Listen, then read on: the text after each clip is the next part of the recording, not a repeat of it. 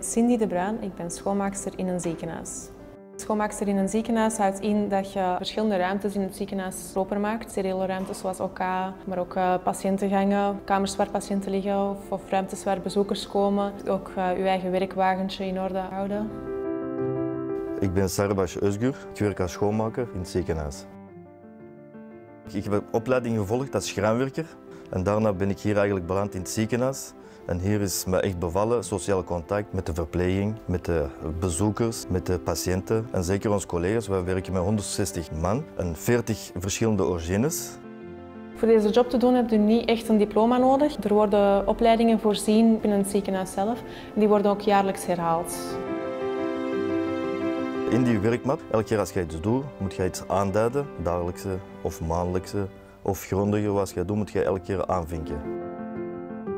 In een ziekenhuis wordt 24 uur op 24 gewerkt, 7 op 7. Er zijn ook natuurlijk ook uh, verschillende ploegen. Ochtendploeg, een dagploeg, een late en een nachtploeg. In samenspraak met de teamleiders of met de verantwoordelijke kun je altijd wel je eigen uren een beetje kiezen.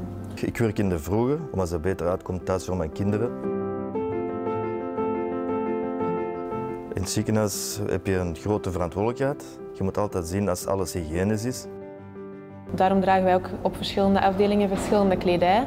Dus bijvoorbeeld op OK moeten wij een ander pakje aandoen om, om zeker niks van het ziekenhuis mee te brengen binnen OK.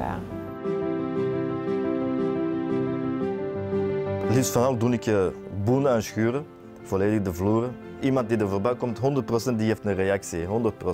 En daar ben ik gelukkig mee. Ik ben er toevallig ingerold eigenlijk, voor tijdelijk, maar ik ben blijven plakken. Omdat ik het eigenlijk het sociale aspect ook wel heel leuk vind. Ik kom heel goed overeen met de collega's, maar ook het sociale naar de patiënten toe is ook wel heel uh, aangenaam. Het geeft voldoening ook als je s'avonds naar huis gaat, je weet dat je alles proper hebt achtergelaten.